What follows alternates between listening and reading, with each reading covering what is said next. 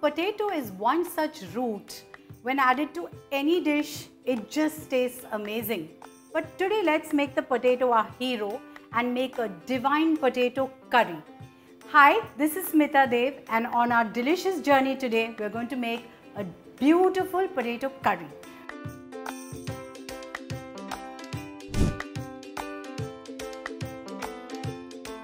Now to make this curry, we are going to heat 3 tablespoons of ghee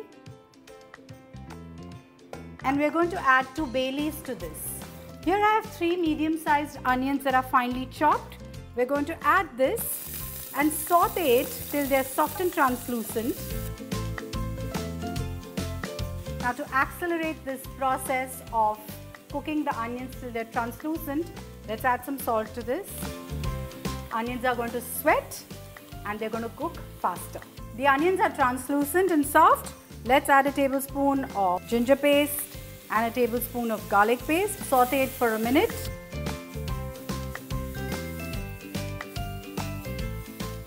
Now let's add a tablespoon of coriander seed powder, a teaspoon of cumin seed powder. Quickly mix this.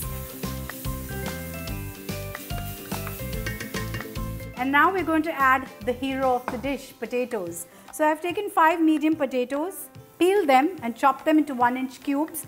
Basically you need to keep potatoes in water so they do not get oxidized and turn black.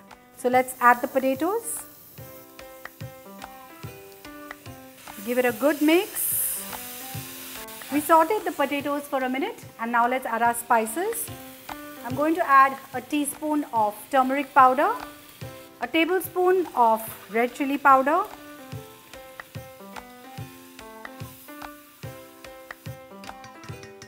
Now we're going to add some salt to taste and now we're going to add half a liter of water to this. And let's cover this and cook it till the potatoes are 3 4 done. I want the potatoes to be cooked only till 3 4 done. Let's check if they are. Yup, it's done.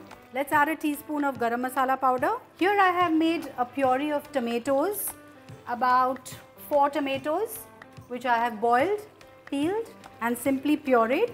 We're going to add this. Mix this well. Now, I'm not going to waste the water in which the tomatoes were boiled. I'm going to add that as well, which is almost 2 cups of water.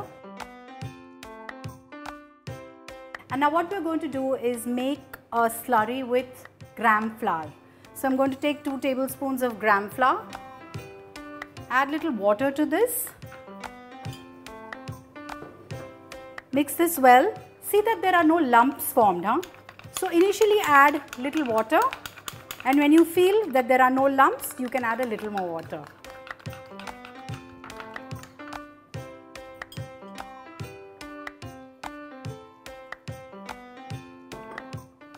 So all in all, I've added half a cup of water to this. Mix it well. Now I want you to reduce the flame to a medium low and quickly add this gram flour paste.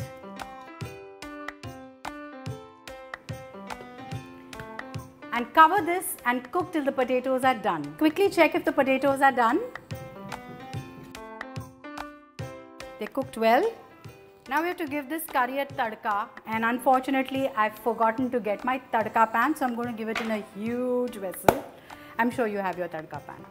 So for the tadka I'm going to heat 3 tablespoons of ghee and once the ghee melts we're going to add 10 fenugreek seeds. Let's wait for the seeds to darken a little, turn a little golden and now we're going to add a teaspoon of fennel seed, ya saunf, okay Quickly let's add a teaspoon of mustard seeds, a pinch of asafoetida or hing, curry leaves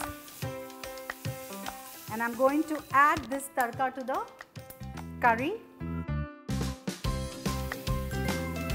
and a beautiful delicious potato curry is ready to be served.